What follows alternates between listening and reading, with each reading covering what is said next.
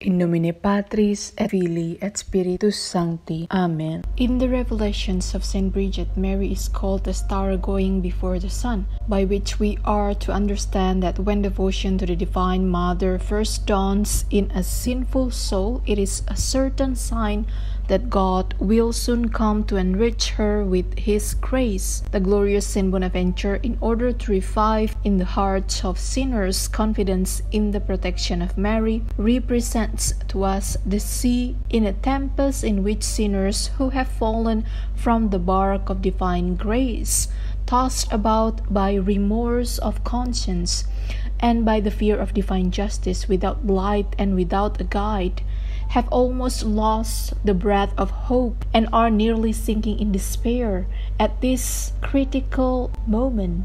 The saint, pointing to Mary, who is commonly called the Star of the Sea, raises his voice and exclaims, O poor lost sinners, do not despair, lift your eyes to that beautiful star.